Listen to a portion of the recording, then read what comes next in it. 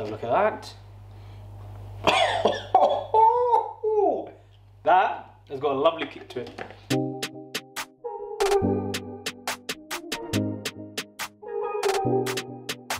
Hello guys and welcome to another episode of Quizine TV where we quiz the cuisine. Now, situation has changed. London, tier 4 lockdown, things are closing, we're struggling uh, to mix with other households. So, we at Quizine have had to innovate. And so today, I'm gonna be doing something completely different. I'm gonna be doing it alone, unfortunately. Partner in crime, Naeem, is somewhere else. But today, I am gonna be turning into a chef and I'm gonna be cooking you some food. That's right, today the beloved Quizine boy turns into chef Quizine boy. So trusty apron goes on. What am I making today? Well, I've decided I'm basically going to go through some of the incredible cuisines we've had throughout the last few weeks on our expedition to find amazing food and I'm going to try and replicate it at home. So today I'm going to be making Somali food at home. That's right. You all remember that incredible baris and halib that we had. It was to die for. Everyone loved it. I recommended it to so many of my friends afterwards. So today I'm to make it at home. I'm to make Somali food at home. So I'm to make baris and halib. So I'm to, the meat I'm to use is beef and chicken. And then I'm to make the rice. But on the side, I'm also to make their special green chili sauce that we tried as well. So this is gonna be fun. It can go completely wrong.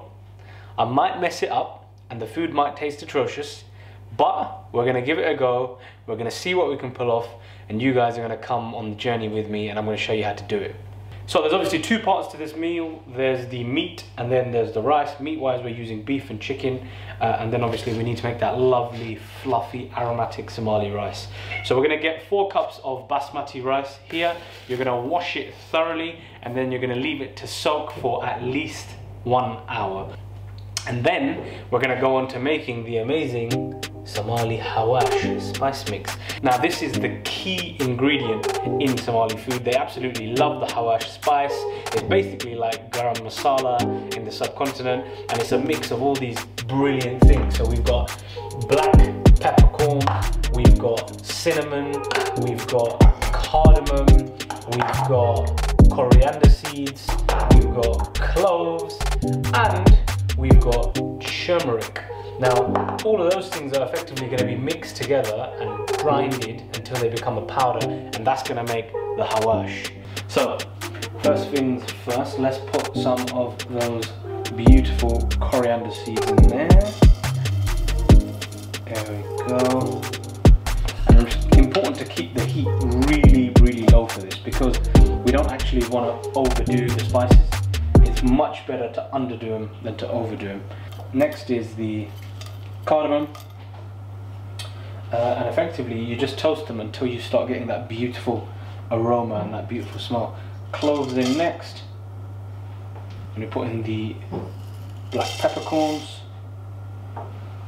And then we put in the cinnamon stick. Cinnamon stick goes in. And there's effectively those five ingredients.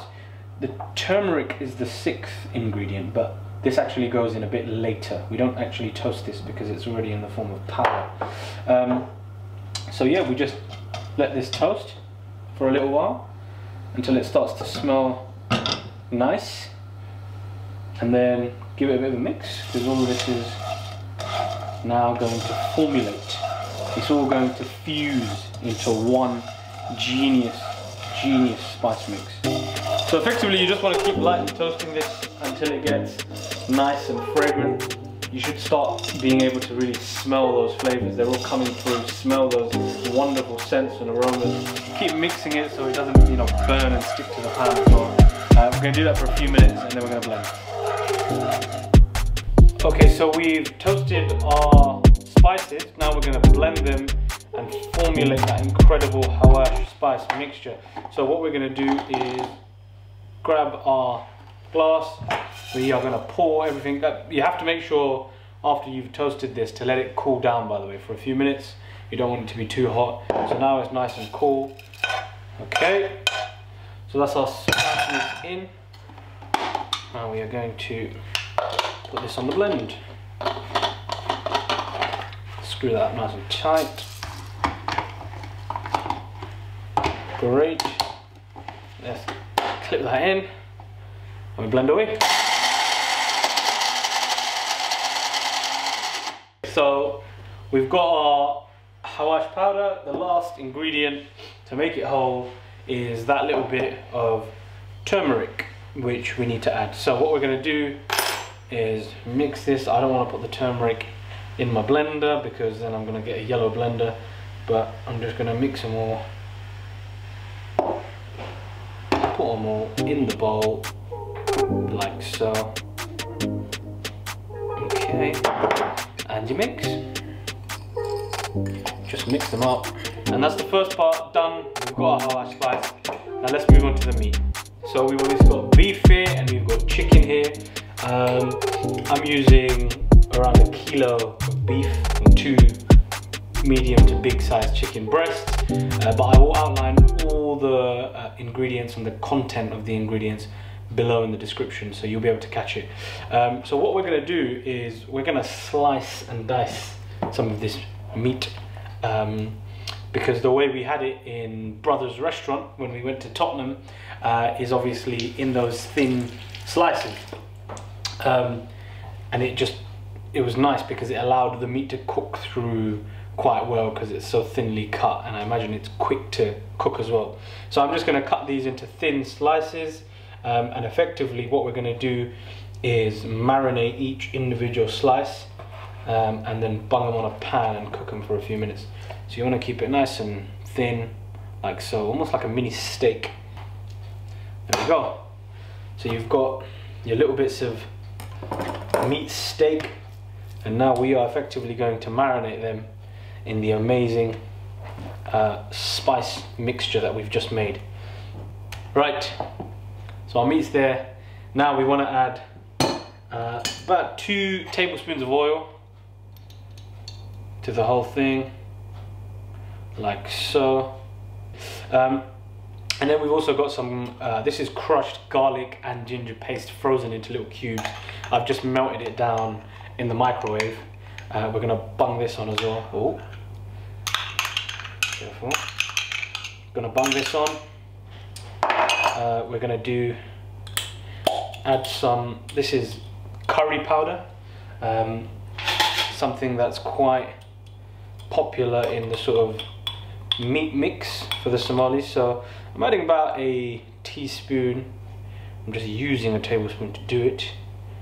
Finally, of course, well, not finally, we've got a few more things to add, but almost finally, is that amazing Xawaash mixture. So let's get a good amount of that in. Don't be shy with this baby. And then we're gonna add some salt, uh, and you can add a little bit of pepper as well. Obviously don't, careful not to put too much salt in. You're gonna end up ruining it, ruining all your hard work. And I'm gonna put some black pepper as well, because I absolutely love pepper. About a um, teaspoon of that. All right, now we're ready. You don't want to see this, but the hand's are about to get dirty. You just allow all of this good stuff to marinate. Put it aside for about 20 to 30 minutes. Uh, and that's that done. Now, gonna work on the chicken. And effectively, we're gonna do the same thing with the chicken together. So we've got our chicken now, and we've also got our beef. Put it to one side, let it marinate for about half an hour. Obviously, the longer you let it marinate, the nicer it will taste. Okay, now we're gonna move on to our rice. So I told you earlier, you wanna soak, wash and soak some basmati rice for about an hour. Uh, we've done that, and then you wanna basically restock up on the water within the rice. Um, we've used four cups of rice. You wanna use about six cups of water to that rice maybe seven. Um, it's always better to add a little bit less water and then you can add more as you're cooking just so you don't overdo it and end up with really really mushy rice. So this is our uh, soaked rice. We're going to transfer this into our chosen device which we're going to be cooking our rice in. Transfer that all in. We're going to keep the water in remember. We don't drain it completely like you do with other forms of rice.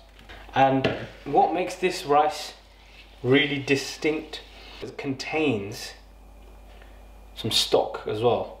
The Somalis cook their rice with stock, which just really amplifies the taste and the flavor. So in this case, we're going to add some vegetable stock to the rice.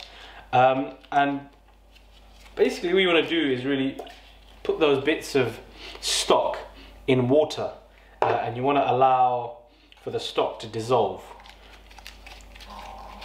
Get that bit of stock in and you want to just plump it in with a little bit of water and this will slowly dissolve and you end up with this yellowish water. If you want, you can speed up the process by bunging this in the microwave for a bit. Okay, so we've got our vegetable stock now, which has dissolved in water, and we're literally just going to add that into the rice. Lovely jubbly. And you're gonna see that really adds such a wonderful flavor to the rice. Um, and then we're going to add a little bit of oil, about three tablespoons worth, maybe two. I'm just going to add a little bit. And then we're basically just going to put it on the stove, medium heat, and we're going to cook it for about 10-12 minutes. And that should do the trick. Okay, so now we're going to put our rice on the stove. For the first five minutes or so, we're going to blast it full power heat. Um, and that's basically going to allow for the water to boil. So as high as you can. Uh, and then after that, we're going to put the fire down to a more sort of medium lower heat and cook for another five minutes. And that will ensure we get the perfect fluffy texture in our rice. So the water is very much boiling now. Uh, it's been about five minutes. We're gonna now transfer the rice onto a medium lesser heat uh, and let it cook for about another five minutes. So I'm just gonna move this along here. Let's bung this on the medium heat. There we are.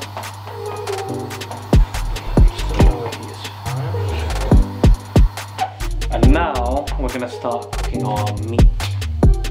Okay, so while the rice is cooking, we're just gonna start uh, cooking our beef. Uh, so we've let it marinate for around half an hour now. We're just gonna bung it in. These are quite thinly sliced, so they hopefully shouldn't take too long to cook. And then we'll do the same with the chicken. So onto a hot pan goes our beef. Now we have oiled this up from before, so no need to add any more oil to the pan. Just get the beef on there many as you can fit on really.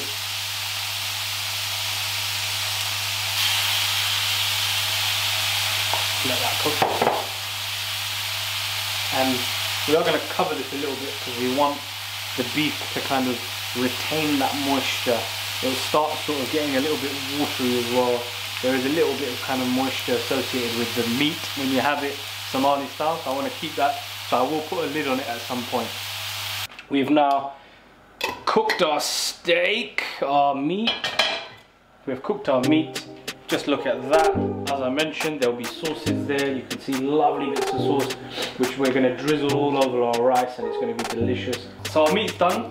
Now we are moving on to that incredible chicken. And it's the same process really. Cook the chicken all the way through for a few minutes and uh, soon enough we'll be ready to eat. So into a hot pan goes that chicken. Listen to the sizzle. Absolutely love that. The aroma is so, so beautiful. All those spices, the smells are so gorgeous and they're all coming through. A lot of black pepper in there as well, so it's making me want to sneeze a little bit. We're gonna let that chicken cook for a few minutes, either side, and then we're gonna be ready. Alright guys, so we're just finishing up with our sort of condiments that we're gonna have on the side of the rice.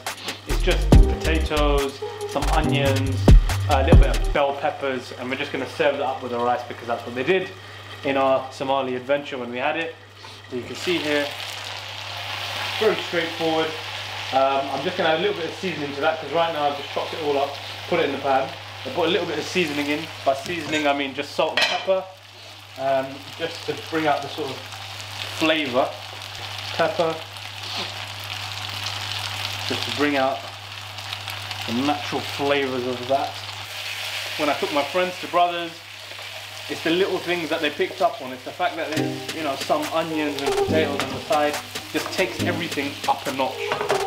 So we're gonna let that just cook for a little bit longer. It's almost done. Right, so while we just wait for the finishing touches for our little condiments on the side, we're gonna make the chili Somali sauce. This is amazing. It's called the basbas sauce. And this is basically coriander with some coconut. Uh, and it's basically made into a lovely sauce that goes so well with the meat uh, and with the rice. We had this in Brothers, uh, we tried it and we absolutely loved it. So we're just going to make it really quickly while we wait for the final things uh, to get ready. So effectively all you're going to do is chuck a bunch of things into the food processor. Here we've got coriander uh, and we've got some mint, we've got a little bit of lemon and we've got some green chili and that is basically where the kick's going to come from. Literally going to chuck all of those things into the food processor. Here we go. Uh, and then that key ingredient that really separates this sauce from its competition is the coconut. So it's always good to use fresh coconut. Here we're using coconut oil because uh, we couldn't find fresh coconut. But just pop that in. It really thickens the sauce, makes it so much more delicious. Uh, and then you might need to add a little bit of water in there just to get the blitzing going. Don't add too much, you don't want it to be too runny. We want to make sure it's the perfect consistency. Let's close that up, and here we go. Come on, we're there, we're getting So we just transfer that to a bowl.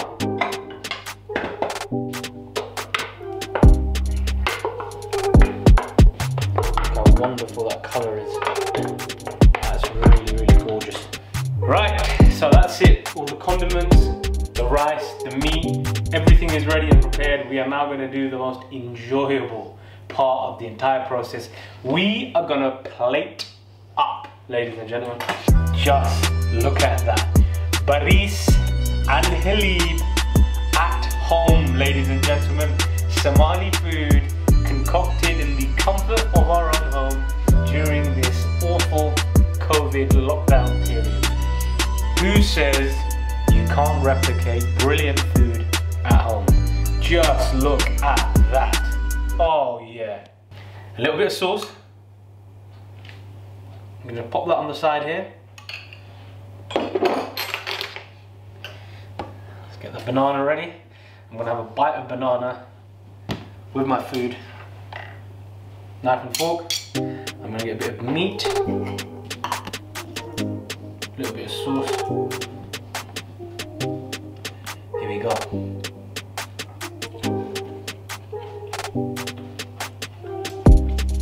Banana. Mm.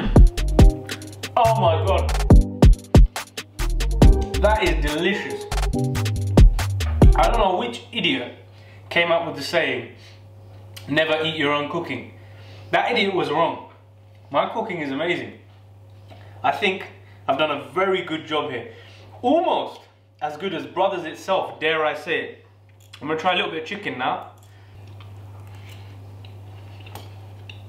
Taste of the banana. Oh my god. That chicken is cooked perfectly. It's so moist, it's so juicy. The Xawaash flavors coming through with every bite. It's got a really good kick to it. That banana actually, and the sultanas add such a lovely bit of sweetness to the dish. Rounds it all off perfectly. Oh man, this is incredible. God bless Somalia. Thank you Somalia for your cuisine. This is incredible. I hope you enjoyed this episode. Baris and Halib, Somali style, made at home. Try yourself, make this at home. I'm gonna put all the recipes and the ingredients in the description below so you can try having a go at this amazing national favorite in Somalia. But that's it for our episode today.